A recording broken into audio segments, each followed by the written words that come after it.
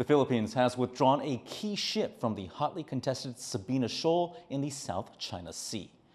The Philippine Coast Guard says it has withdrawn the BRP Teresa Magbanua for humanitarian reasons, but it will continue to maintain a presence in the area and send a replacement vessel.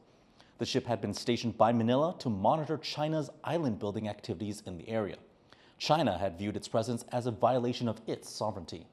The ship was also involved in a ramming incident with the Chinese Coast Guard last August.